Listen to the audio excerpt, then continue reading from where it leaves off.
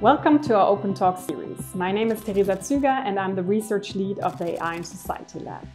I'm leading an interdisciplinary research group that wants to find out how AI can serve the public interest. And pretty early in our research, we understood that this is such a big and complex question that we cannot solve it completely by ourselves.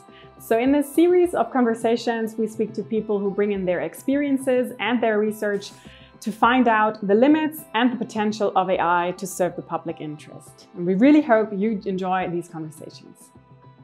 So I will talk about um, automatic decision-making systems in the public sector, and I will briefly talk about legal aspects and mainly about ethical aspects. I said automatic decision-making systems this is because we usually prefer to use that term over AI because we think it gives the system less power in the sense that we think, we strongly believe that the final decisions should always lie with the person. We looked at opportunities for ADM in the public sector, which of course the first that always comes to mind is an easier workflow for within the administration.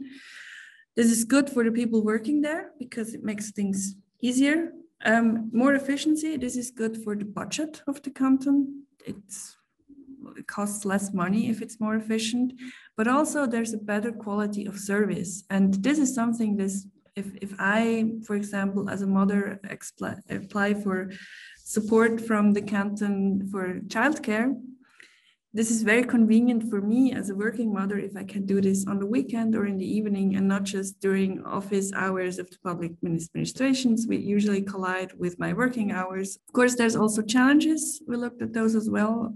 The big thing is bias and discrimination, which needs to be avoided. Also, then there's missing comprehensibility.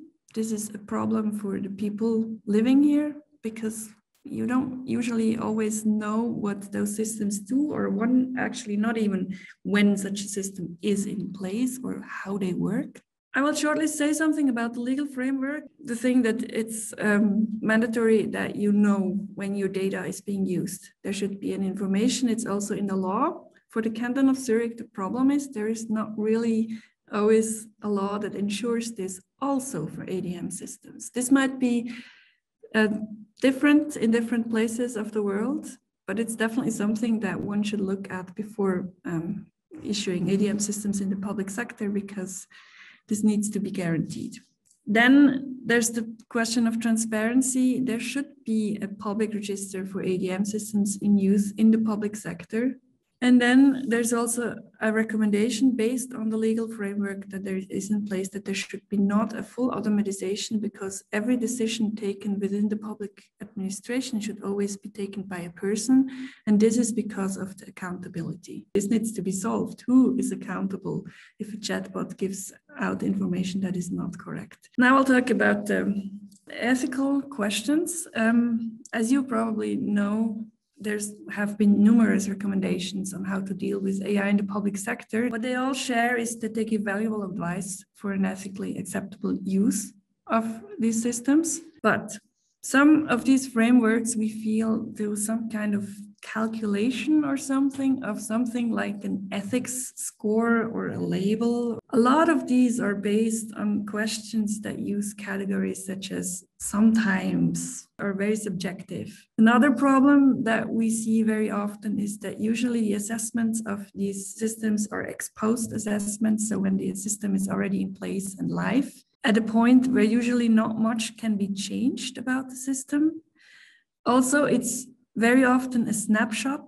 So the system goes live, it's being assessed at this point and the situation that we have then, and it will not cover anything that has happened before. So what we did for our approach, we tried to suggest to accompany a project already during the planning and test phase and also during operation, not just at the point where it goes live, we don't do scores or labels. We try to react to possibly difficult aspects or problems as they appear, as they are seen. And what we do for that is we write a transparency report which documents every consideration made during all the different phases of a project so that all the decisions and discussions are somewhere there and can be reconstructed and are available for questions.